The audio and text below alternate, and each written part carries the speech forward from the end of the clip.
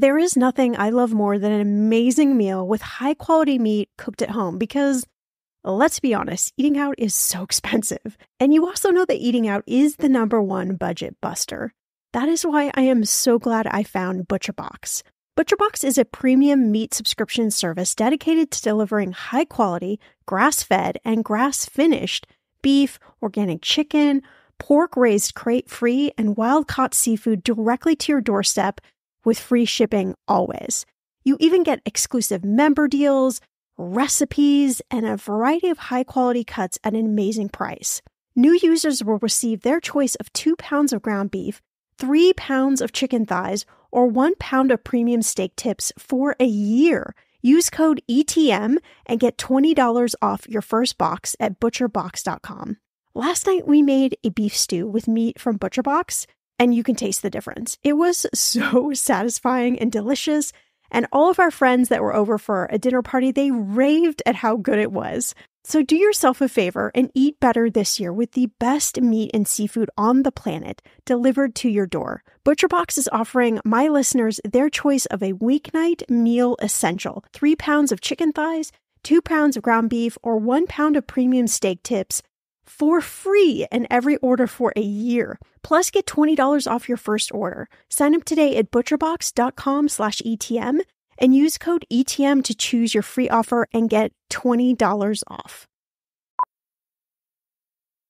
Millions of people have lost weight with personalized plans from Noom, like Evan, who can't stand salads and still lost 50 pounds.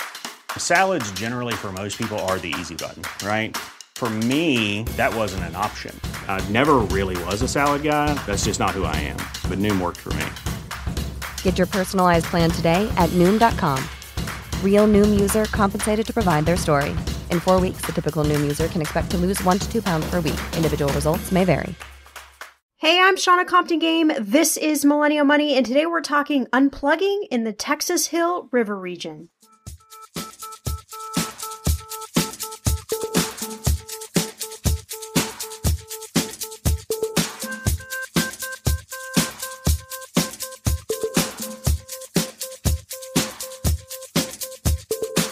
Millennial Money with Shannah Compton Game. It will expand your brain.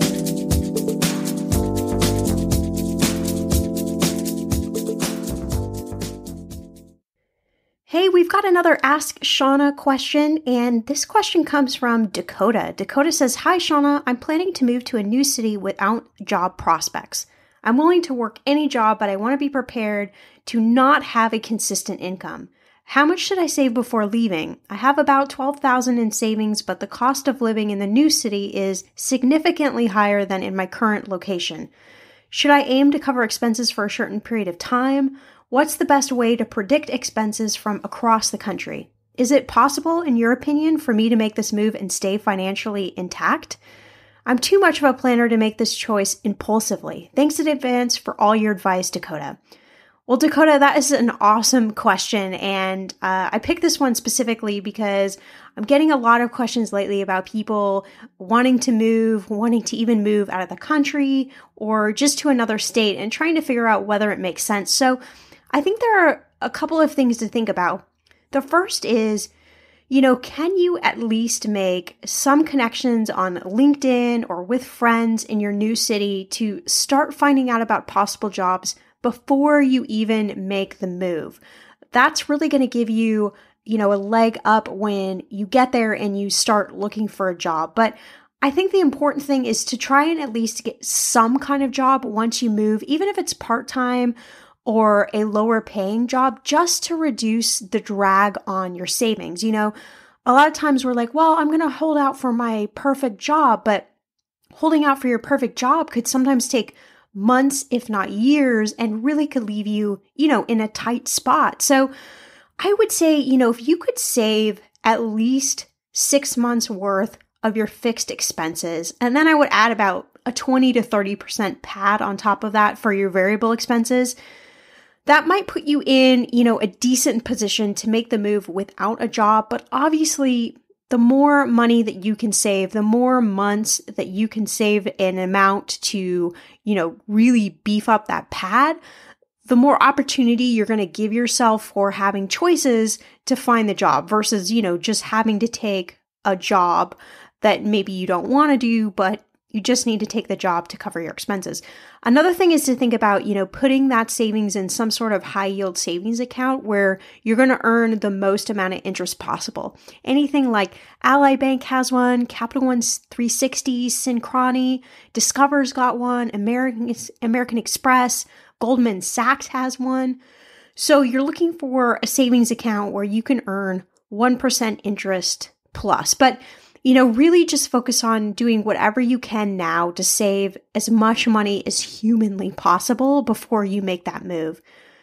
And then another thing you can do is, you know, you can Google and research what is the average cost of living in the city where you're moving to. And I know you said that you already know that it's going to be a lot more expensive, but if you can figure out, you know, what is going to make it more expensive, is it the housing? Is it that you're going to have a commute and maybe you need a car and so your gas prices are going to go up and insurance and all of those sorts of things? If you can really identify what are those costs that are going to increase and then are there any cross costs that might decrease? Like that would be really good for you to figure that out as well. And then also, you know, have a plan B. What if it doesn't work? You know, what's too uncomfortable for you? You know, if you get to the end of your your pad, your 6 months or your 9 months or however much money you've saved up and you don't have a job, what are you going to do? You know, is it is it that you're going to still stay there and stick with it or, you know, is there someplace else you can move to?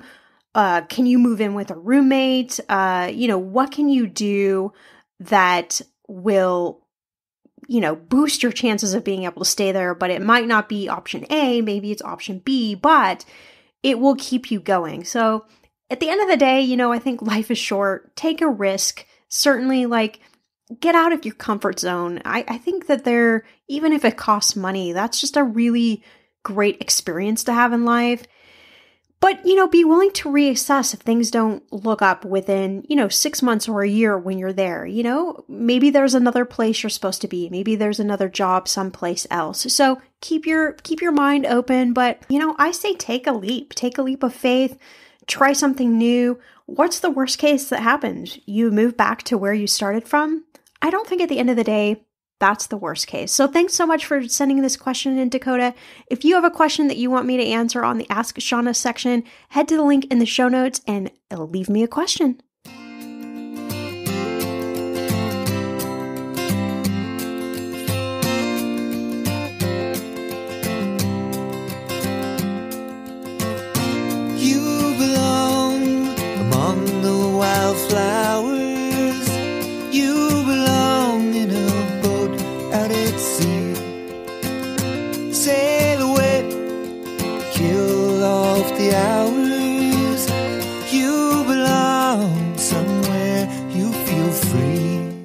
You know, unplugging is not something we we all do very well these days, right? You know, and, and we have a really warped uh, speed of life that we all live these days, don't you think?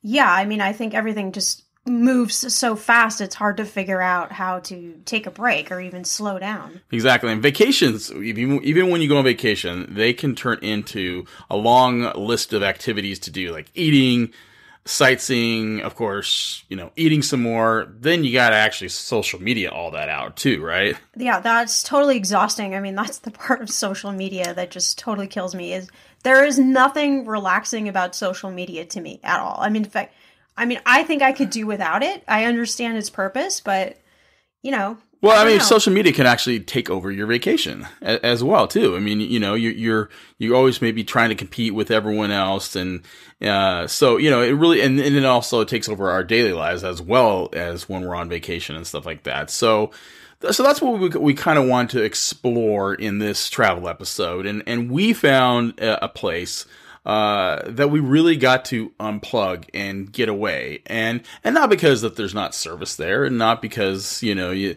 you, you don't you can't find Wi-Fi or something. You, you you totally can. It's just you know, this was a time we said, hey, you know what, we're going to unplug, we're going to relax, we're going to enjoy. Of course, we social media because we're actually working on these trips, but we we found a place, the Texas Hill River region, uh, which is uh, located in Uvalde County, which is about an hour and a half or so outside of San Antonio, and it is a beautiful area.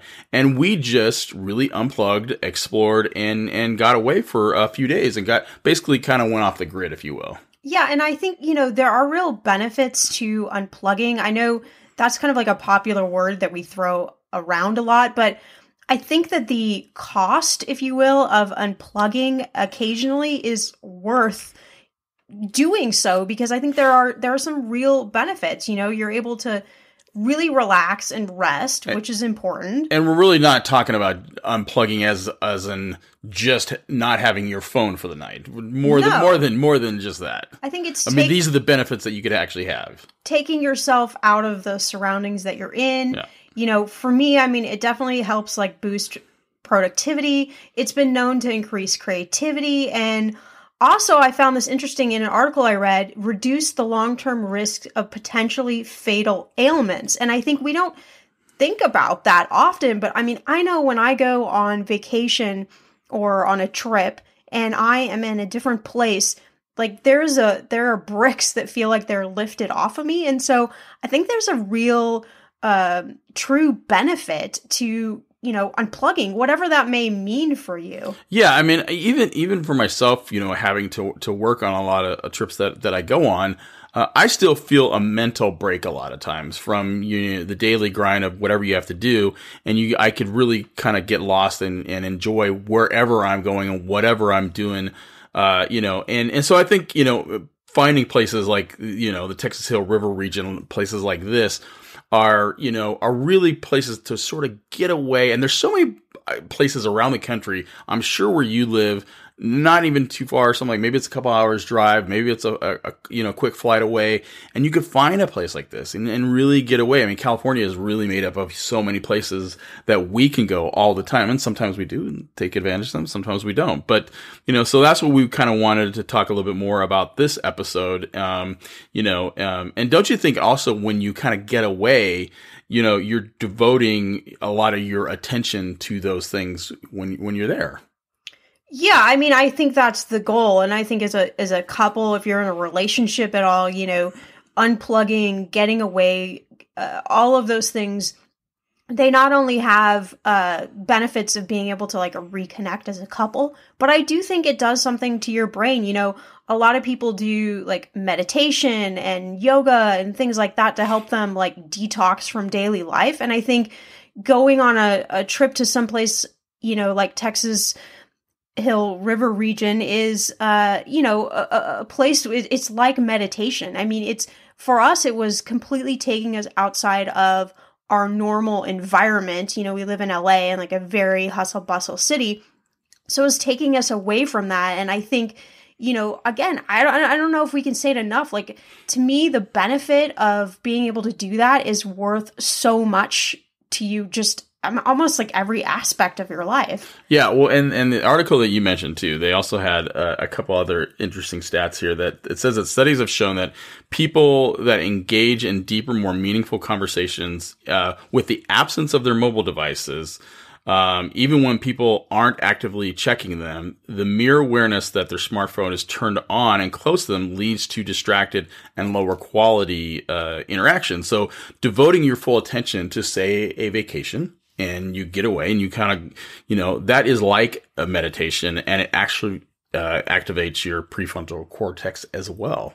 Yes, and I want all the prefrontal cortex activation that I can humanly possibly get. What don't you think? Because we have so many devices that have that store so much information, we don't store as much information in our brain. A lot. We store a lot of stuff, but maybe we don't uh, have as much information as we used to, like phone numbers or something, something like that.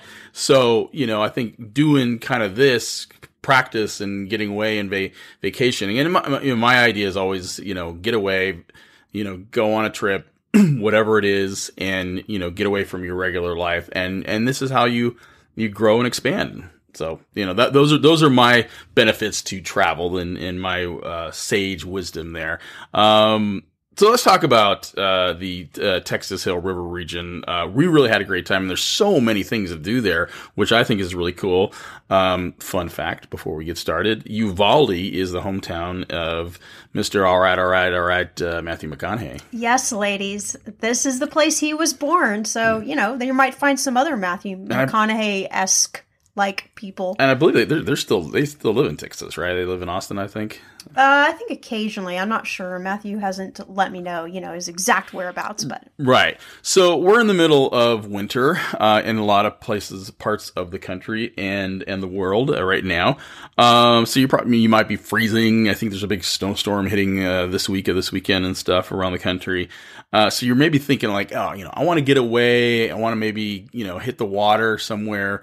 Um, and the, you know, the Texas Hill River region, they have a lot of rivers down there and the Frio River is their most popular and tubing is the name of the game down there. I mean, tubing is so popular. We were there a little off season, so the river was a lot lower. Um, but there were still tubers around there and hanging out. And I think that time of year was maybe even cooler, cool because, you know, when at the height of summer, it is packed there. Yeah, uh, tubing is like a Texas thing Yeah. too. Uh, I know as a little kid when I lived in Texas, I went tubing and I actually have a little bit of a horror story, not horror, a little story around tubing when we had all gone tubing. And I was like a little kid and I'd actually fallen out of the tube and swam to the side.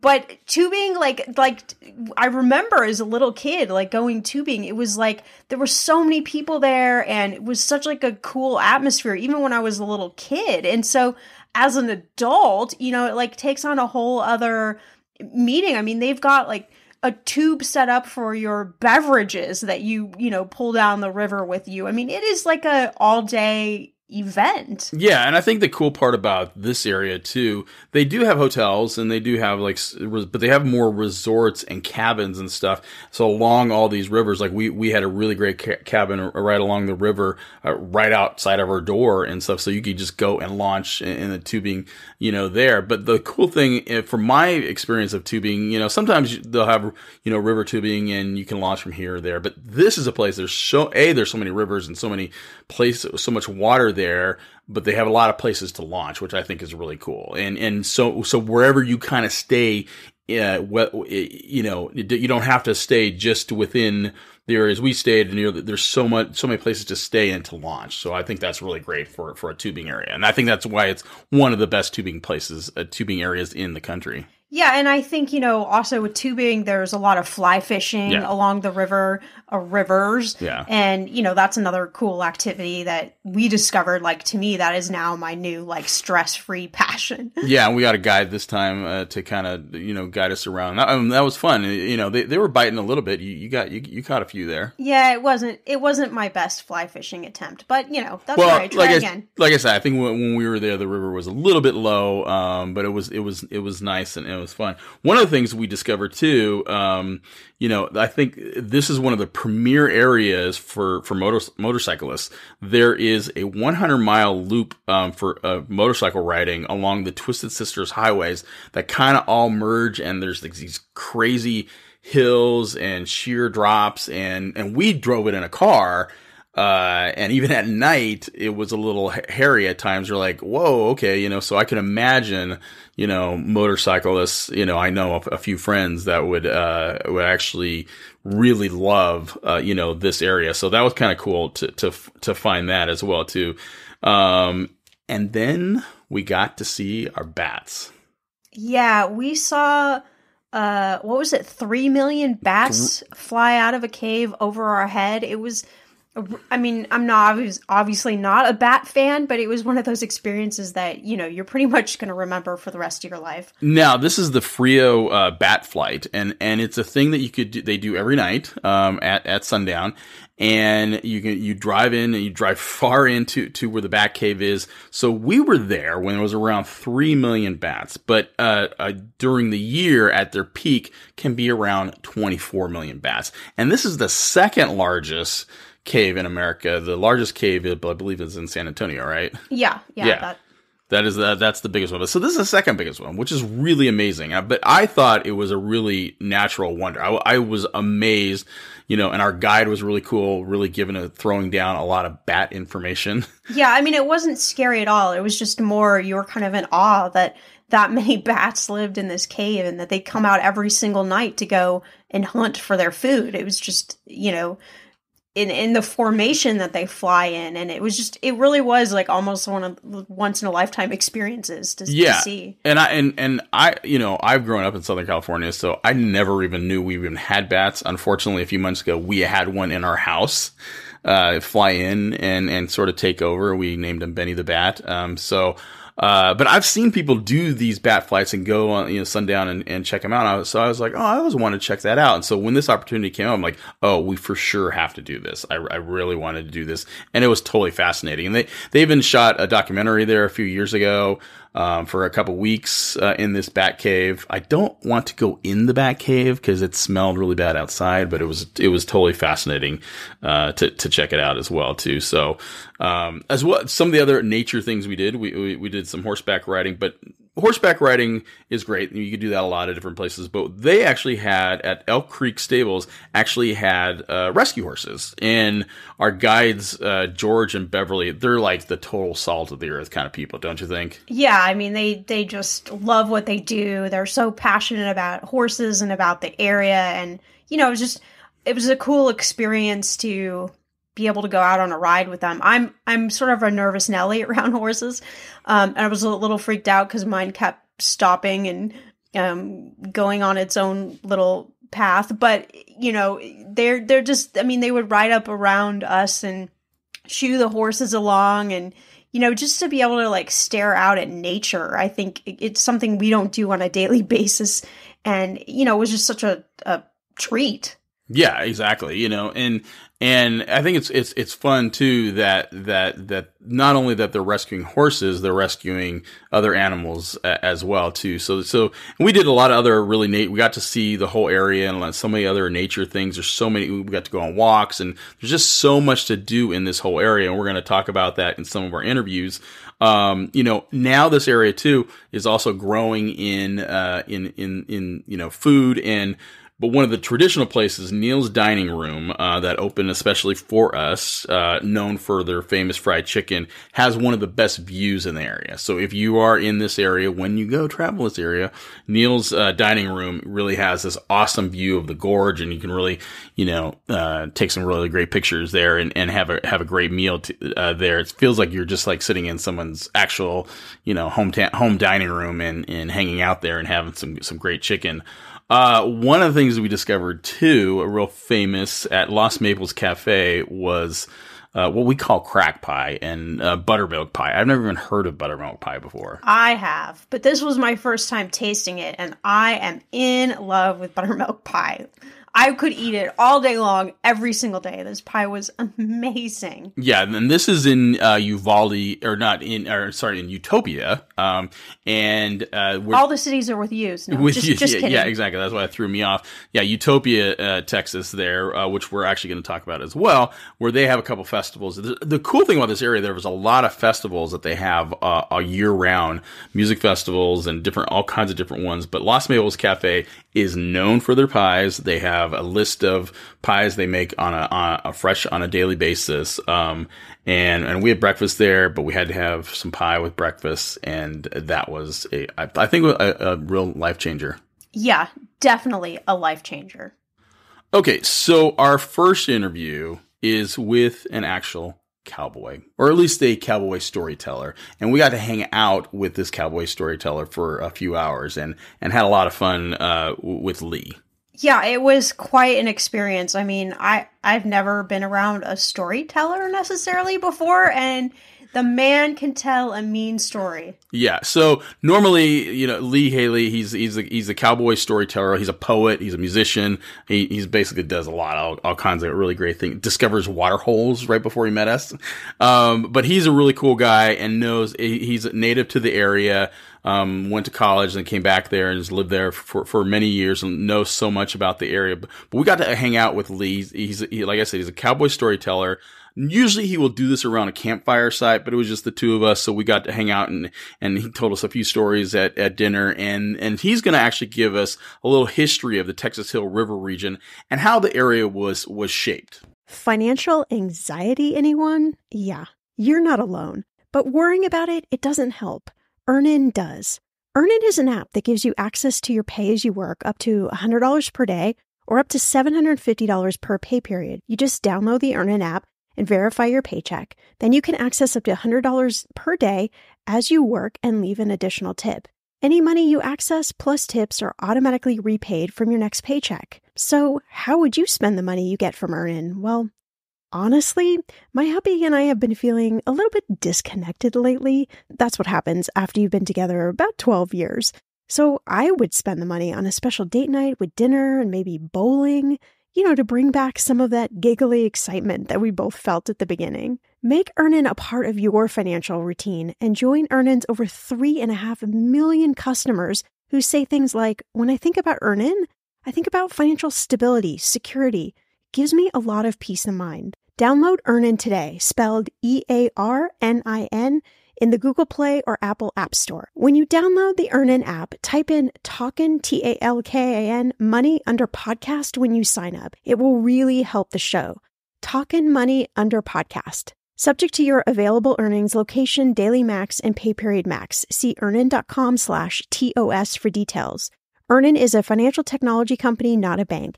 Bank products are issued by Evolve Bank and Trust, member FDIC. When it comes to financial advice, you got to trust the source. It's why you listen to this podcast. When I'm looking to upgrade my wallet, I turn to NerdWallet. Their expert team of nerds dives into the details to help you find smarter financial products. Before NerdWallet, I was paying for vacations all wrong. I was missing out on miles I didn't even know I was leaving on the table. Now I've got a new card with more miles and more upgrades. What could future you do with more travel rewards? I don't know, maybe that fancy hotel upgrade that you have always been dreaming about. Wherever you go next, make it happen with a smarter travel credit card. Don't wait to make smart financial decisions. Compare and find smarter credit cards, savings accounts, and more today at nerdwallet.com. Nerdwallet. Finance smarter. As with all cards, credit is subject to lender approval and terms apply. Listen, if you've been using Mint to manage your money, I have got some news for you. First, the bad news. As you might know, Mint is shutting down for good. But the good news, well, there is a way better alternative that is a personal favorite of mine, Monarch Money. And I'm not the only lover of Monarch Money. Many Mint users are turning to Monarch Money and just raving about it. I used to manage my money with an Excel spreadsheet. I know, so archaic, and it was so time consuming. I tried all of the apps but I just didn't find one I liked until I found Monarch. And I've got to tell you a secret. Monarch is so easy to use with a very intuitive design. You can even collaborate with your partner and you can customize Monarch for whatever your needs are. Monarch is the top rated all in one personal finance app. It gives you a comprehensive view of all your accounts, investments, transactions, and more. Create custom budgets, set goals, and collaborate with your partner. And now get an extended 30 day free trial when you go to monarchmoney.com slash ETM. Let's go back to the collaboration bit. Because we know money is a leading cause of divorce and breakups, Monarch has built in collaboration features so you can invite your partner at no extra cost. You can see all your finances, make a budget together, get insights on your cash. Yes, cue the confetti. There will literally not be any more arguments over money. And if you've been frustrated with personal finance apps that are cluttered with ads, difficult to use, or rarely updated, so was Monarch. They built a new kind of personal finance app that's intuitive and powerful ad free, and constantly improving based on customer feedback. Monarch has a tool that allows you as well to easily import your data from Mint. You can keep all of your tags and all of your categories. After trying Monarch for myself, I understand why it's the top rated personal finance app. And right now, get an extended 30 day free trial when you go to monarchmoney.com slash ETM. That's M O N A R C H M O N E Y dot com slash ETM for your extended 30 day free trial. Have you ever wondered what it's like to be buried in an avalanche? Weird foreign feeling of despair. Or how it feels to crash a skydive? I remember hearing a thud, feeling my body hit the ground. or how you would react if you were being attacked by an alligator? At the end of my leg is this huge alligator head on my leg. These are the stories you'll hear on the podcast called What Was That Like? True stories told by the actual person who went through it. You'll hear from a victim of an attack. Dragging me into the bathroom and saying, I'm going to kill you, now you're going to die. You'll hear from a man who discovered a baby. How could this be? How could there be a baby on the ground? And you'll hear actual 911 calls. Lincoln County 911. There's a man at my back door.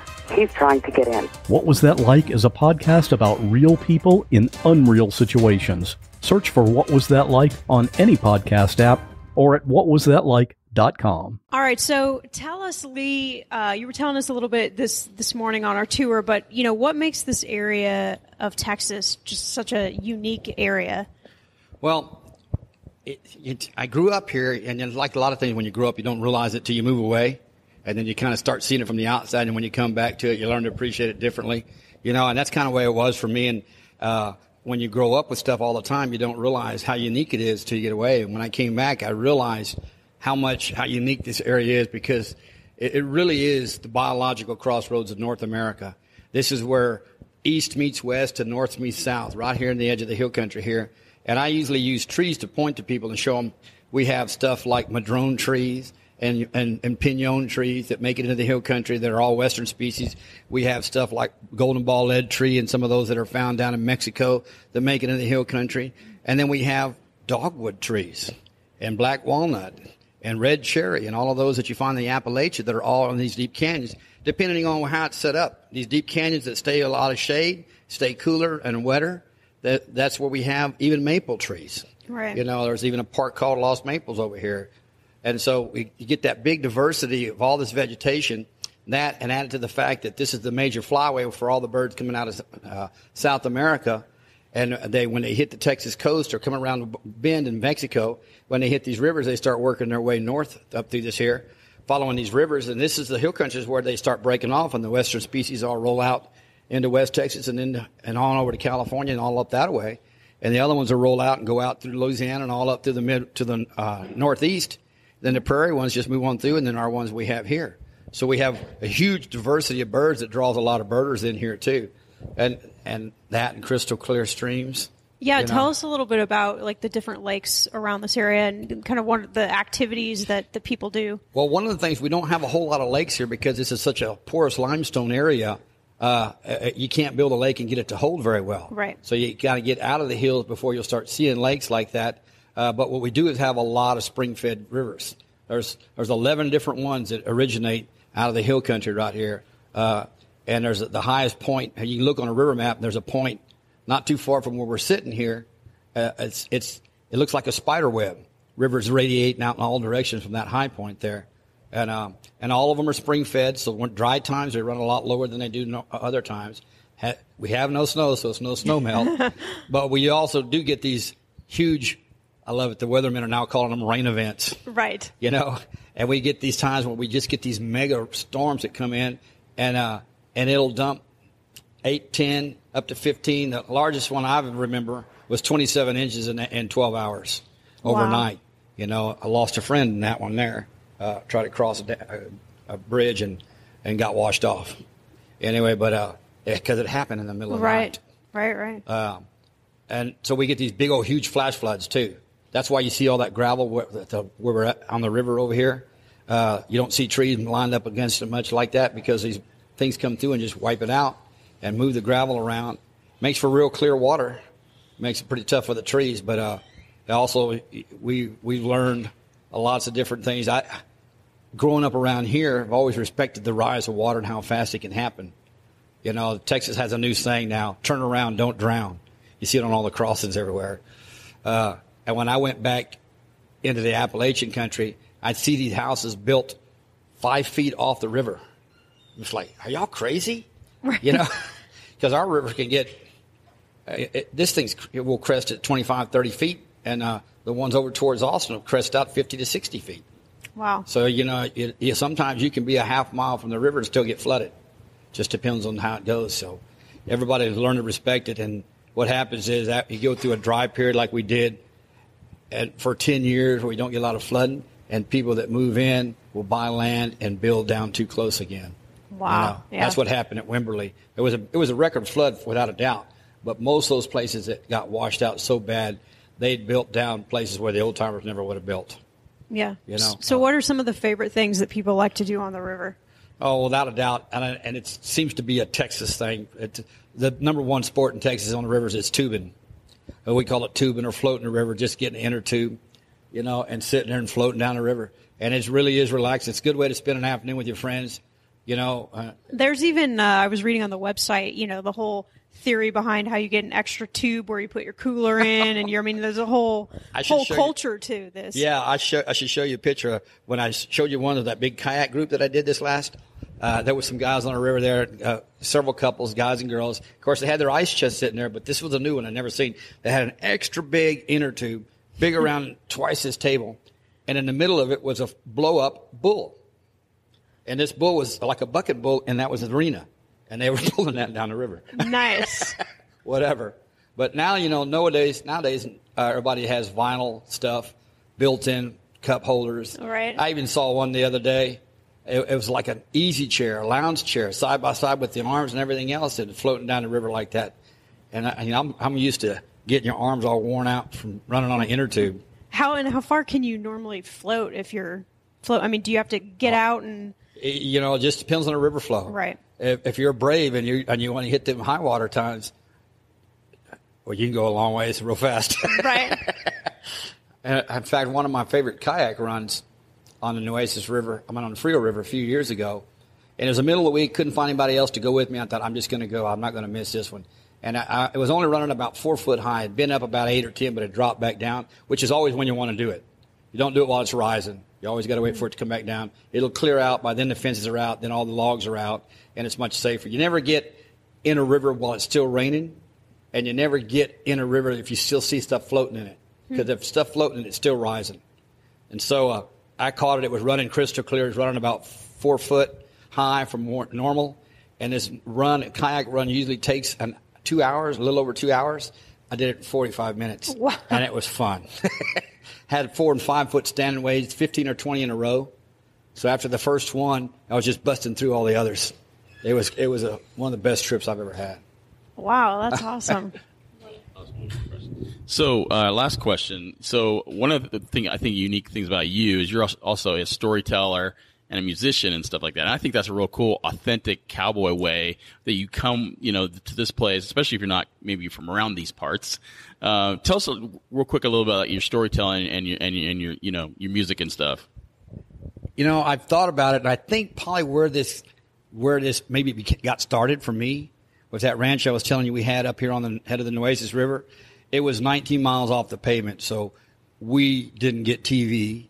And you, uh, uh, late at night, we had an old type of radio. It was much older than I am. It makes it sound like I was way back when. It was just something left over from that generation before. Sure. But we had it up there, and late at night we could get uh, a station out of out of uh, Fort Worth and one out of Louisiana. They had it the show called Louisiana Hayride. Okay, yeah. So you, most of the time, you, after when you ate supper, and after that you sat around and visited. Mm. You know, and especially we were up there mostly during hunting season, and it's kind of a tradition. When you come back from the hunt, you talk about what you saw at the Mhm, hunt. sure, yeah. And I, me starting hunt when I was real young, I'm sure they were always rolling their eyes. They were, what did you see, Lee? And here I went to a 45 minute dissertation of what I saw, even if it was only birds. Right, right. And I think that's kind of what started that whole oral tradition to me. Uh, and then when I left home and got out of college, I made a conscious decision to not take TV. And so for many years, I had nothing but music. I love mm. music, so I had a stereo. Every place I move into, the first thing I did was hook up the stereo. The last thing I did was unplug it. and I keep music going. And like a lot of people use TV as a background, I always mm. had music for background. Mm. And, uh, and it would drive me crazy to go to people that would have their TV on and instead of sitting and watch it, they want to talk to you. And I'm sitting there going, Right. let's watch it or talk, one or the other. anyway, so grew up a little different in that way, but that's the way I raised my daughters and girls too. And, mm. and, uh, one of the best compliments I ever had from a guy one time, he was a fellow ag consultant. Mm. We were doing some work together. He came over, we worked all day, then we ate supper, then we went out on the porch and we started talking. Mm. And at one point he says, Yeah, I have to give it to you, hand it to you. The art of conversation has not been lost in your house. I thought, well, I like that. Yeah, so people can actually come down here and hire you to tell stories and play guitar. Yeah. like that, Oh, right? yeah. Yeah, which I, do think a- is a totally unique, you know. Yeah, you know, there, you, it's easy to find musicians Yeah. around. You don't find many who uh, will tell stories, and Mm-hmm. and and uh, and the stories I tell, you know, I'll tell everybody. There's there's really two different kinds of stories. There's the stories of the old man sitting around a fire or sitting around something like this, Mm-hmm. and he say, uh, and you know, somebody say, hey, tell us about that buck, and he'll tell you something, and he's sitting there. The ones I do are I call them performance storytelling. I have to stand up because I Yeah. use my hands, Yeah. go through animation. I do a lot of different voices and stuff with it. So All right, so to round out our Texas Hill River region uh, talk here, um, when we were in Utopia in there in Texas, so we we're having some crack pie, We were unplugging. we were unplugging and we got to visit uh, this amazing restaurant. The only thing we didn't get to do was actually eat there and and uh, meet in person the head chef and creator of this. But we got to actually talk with her on on the yeah, my heart's breaking that we didn't actually get to eat the food because this literally this restaurant is the Laurel Tree restaurant is like you have entered Europe in the middle of the Texas River region and it is just a stunner. Yeah, and we we had Laurel Chef Laurel Waters on the show talking about her her amazing restaurant uh, that is open one day a week on Saturdays a, a few months ago. Um, so she's going to give us an insight. Again, she's a native to the area, and she's going to give us an insight to the area. Talk about the many outdoor activities that there are to do in the Texas Hill River region, uh, including, of course, her amazing restaurant that also has a treehouse uh, right in the middle of it as well. Yeah, and how she decided to unplug by starting this restaurant, I think is a, you know, it's really cool. We should link the podcast episode to her so you can go back and check all that out. Yeah, and also she also has a, her, Bears Den restaurant. Uh, they have a bar uh, which is in in Leakey, Texas, that we got to visit, which is really great too. So so she's a real great entrepreneur. So enjoy our conversation with Chef Laurel Waters. Well, Laurel, thanks for for joining us, uh, talking about Uvalde and, and Hill Country and the, the river region, stuff like that. And I think it's a really cool place, uh, you know, to escape and unplug and get away from. What are some cool things uh, to do that you like to experience in, you know, the, the Hill Country and river uh, uh, region and stuff? You know, there's so much to do, uh, but I would say one of my very favorite things about the area is the stars. And that, you know, this could be just about anywhere that you mm-hmm. are, you know, especially where we are in Utopia and the smaller towns and stuff. Sometimes there's so many stars you can hardly even pick out the constellations, you know, and the sunsets and the sunrises. And I mean, just from wherever you are, it's some new viewpoint or new color or, you know, it's just, it's absolutely unbelievable. Even the storms that we get are crazy, you know, with the lightning shows and, you know, I mean, that kind of thing. But there's so many fun things to do. And, you know, where, where we are, Utopia, and then I have another businesses over in uh, Leakey with my husband, um, which is just 20 minutes over the hill. But both of us are low, both sit, both Utopia and Leakey are located right between Lost Maples State Park and Garner State Park. Both are about 20 minutes away from from each town and just driving through the area alone, motorcyclists, you know, motorcycle groups, car clubs, everything. You know, all those little roads around through that area are, um, you know, very well known. Um, you know, you've got the Garner State Park, which is known for the Frio River, for the camping, the hiking. Um, I think people even do rappelling and things like that over there on the cliffs and stuff. You know, um, we've yeah, Right. we've got bat caves that you can go visit and see. See the oh yeah. yes, we did get to, we did get to check that Oh out. yeah, it's it's Yes. incredible. You know, we now have a a little vineyard too, right up north of Utopia, which is crazy. Um, you know, there's all kinds Mm-hmm. Right. of fun stuff to do out there. Well, and your Laurel Tree restaurant too is a real hidden gem in a small town there in, in Utopia. Um, have you noticed more travelers from around the world coming to your restaurant, or even just the area alone? We do get some international customers, yeah, and there's a lot of draw. I think that you know it's the the state parks that I mentioned. Um, you know, just getting out of the city and all that. You know, with the internet nowadays, you can find anything anywhere. You know, so people are you know traveling from quite far. You there's very often, you know, at lunch or dinner, you'll see hear different foreign accents and stuff, and it's fun to say, you know, where are you from or what brought you here. And um, you know, it could be the restaurant, or it very well could be because of Garner State Park, or because of you know, other things to do that they found in Uvalde County. And then once they booked their trip, then, uh, you know, looking online and everything, found the restaurant. So, um, no, there's a lot of draw out there. Absolutely. Well, since you opened the restaurant, have you noticed that the food scene in in, in the area has gotten a little bit better too? Because I mean, it seems like there's a few newer restaurants um, when we were vis- visited there. Yeah, there's some newer restaurants, you know, and um, there's some, you know, some in Uvalde and then some out and around. Um, you know, Concan is a lot of fun. It's super fun. There's when you drive through Concan, there's really not that much there. But um, you know, once again, the Frio River and everything. But every little business that's there is really, really cool, really interesting. Um, some food trucks, uh, different things like that. We have, Hmm. we've got we Bears Market in Lakey is our big store. Robert, my husband, and I. And then we have Bears Den out back, which I can tell you about. But we also do a food truck down there on River Road. And uh, yeah, Oh, there's okay. been a couple of other little food stalls and things like that that show up. Summertime along the Frio River is a huge draw. But now, you know, getting into fall and holiday and stuff like that, there's there's hunting, there's like I said, the motorcycling, you know, all that stuff. There's a lot of reasons to come out to Uvalde County really all year long. So, um, And you mentioned uh, Bear's Den. So we went to Bear's Den before we came to visit uh, the Laurel Tree, and we just were saying how you know unique Bear's Den was and Bear's Market, and just it was just you know very unique spot for the area. And then we of course came to Laurel Tree, and of course it all made sense because they're all unique. um, you know, what made you guys think of doing a gourmet market and wine shop and you know Bear's Den in, in that area? Well, you know, in Utopia, we're on the Sabinal River and it's very quiet, it's very private, you know, and that kind of thing. But the Frio River is just over the hill, just over the mountains, you know, about 15, 8, 20 minutes away from us. And that's where Garner State Park is and Concan and Leakey. Those are all along the Frio River. And there's like 2,000 places to rent over there.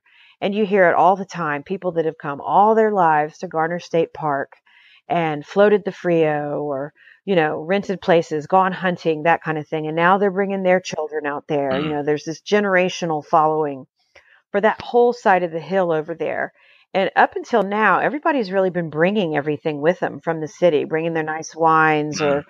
you know the things they're going to cook at their cabin and and all that. And and Robert and I, we really wanted to make a destination market, like the Laurel Tree has become a destination restaurant so that people will say if you're mm-hmm. anywhere near Bears Market, you've got to go and provide all that stuff, you know, things that are stuffed, skewered, marinated, ready to go for the pit.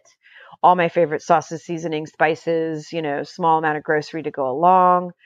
Um, we have a very eclectic wine selection, things that you can't get for a hundred miles. People are shocked when they walk in and they're like, you know, yeah. we, we were we They're were like, as well. Oh my, the prisoner or Robert Mondavi, you know, Maestro. Like what in Leakey, Texas, you know? And um, then also we've got a full coffee bar, full ice cream bar. I have a gummy bear bar. I'm a gummy bear fanatic, so I knew I wanted a gummy bear bar, and people go crazy when they walk in. It's hilarious. And then we do, you know, camping and picnic and gifts and home decor. And I'm a kitchen gadget kitchen gadget person.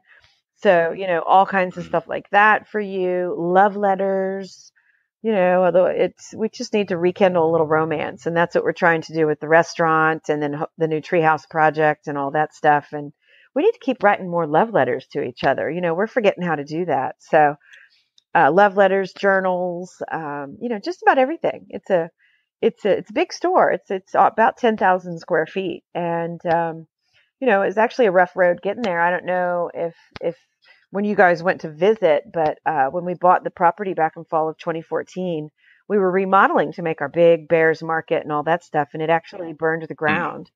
So oh, it was awful. Oh, wow. It was terrible. It was a construction accident. So um, what saved us? I'm kind of leading up to how Bears Den came about. What saved us was we were already putting up this this red barn out back, this 4,000 square foot barn for feed and storage and and it saved us because we as fast as we could we converted that red barn into what was our usable stores after you know so we could recover from mm. the rubble and and rebuild. And we've now done that. We've built our bigger better bear.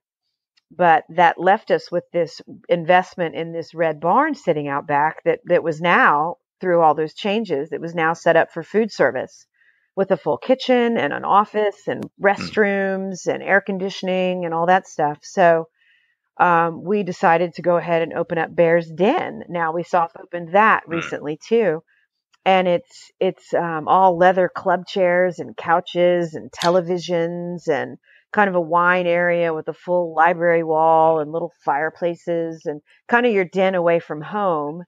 And so that's how Bear's Den came along. And we do Robert's Awesome Barbecue and um, pizza and small plates and, you know, yummy appetizers and things like that that you can you can buy beer and wine in Leakey. So you know we you can get a glass of wine and uh, you know some kind of great appetizer or whatever and just chill out there. A lot of the cabins and camping and stuff like that, you may not have TV and you know internet where you are, but you can You kind of you know hang out at Bear's Den and you've got it all right there. So people are really taken to it. It's it's and we wanted to keep it unique again and kind of another knock your socks off kind of place.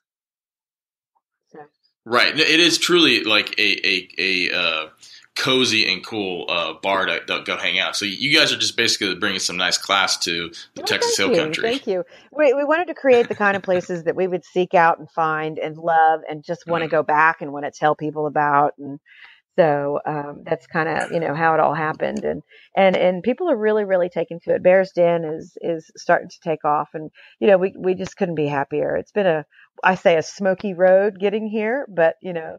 The, the, the sunshine is back out, and we've got our bigger, better bears market, and then uh, you know Bear's Den is is is going very well. So, and then the food trailer that stemmed off of our Bear's Den as well. We wanted to provide some of that great stuff when you're down on River Road, floating in the river, or you know whatever it is. You can come get food to go. Yeah, Right. we even do boudin and you know all kinds of things. Robert, my hubby, he's from North Carolina, but he lived in Louisiana for five years, so he does a lot of that Cajun, you know, Cajun uh, influence as well, and a lot of the things that we do at Bears Market that are stuffed, skewered, ready to go for the pit. You know, let yeah, Okay, yeah, right, let us right, chop yeah. it and slice it and dice it and stuff it, and that way you can spend more time with the family or in the river or whatever. Mm-hmm. It's it's just ready to to take home and, and cook. And then we do a small amount of prepared foods too there as well. So yeah, it's it's it's it's going well. So, the moral of the story is never underestimate the power of unplugging. Sometimes it's worth spending a little extra money to take a trip somewhere, discover something new, discover something in yourself that's new, and truly, you know, live life a little bit, you know, quote unquote, off the grid. So, as always, you can follow me on Twitter and Instagram at Shannah Game. You can check out Jeff on Instagram at The Traveling Game. And as always, if you love this podcast, do me a favor, share it with your friends, shout it out on social media, and head on over to the link in the show notes to leave us a review.